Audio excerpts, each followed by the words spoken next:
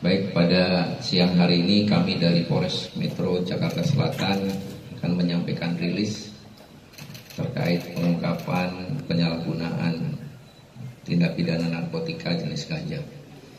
Yang sebenarnya ini merupakan keprihatinan buat kita bersama di mana salah satu pelaku dalam penyalahgunaan tindak pidana narkotika ini merupakan public figure yang seharusnya bisa memberikan contoh kepada masyarakat untuk bisa berbuat baik bahkan untuk bisa menghindari dari bahaya narkotika dan ini tentunya nantinya jangan sampai menjadi contoh buat masyarakat yang lain dalam uh, pelanggaran terhadap tindak pidana ini.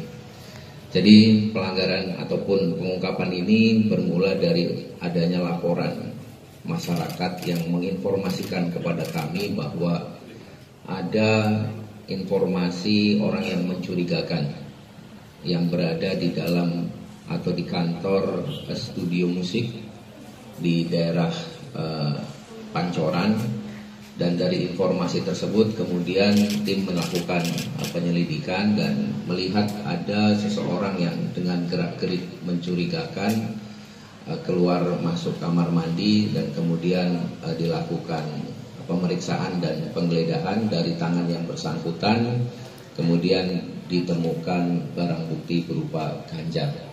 Dari informasi eh, ataupun penangkapan yang dilakukan terhadap laki-laki pertama atas nama AJ tersebut kemudian petugas mengembangkan dan diperoleh keterangan bahwa barang tersebut milik saudara RS sehingga kami kemudian melakukan pengembangan dan kemudian melakukan penangkapan terhadap saudara RS yang juga berada tidak jauh atau di, masih di dalam lingkungan studio tersebut.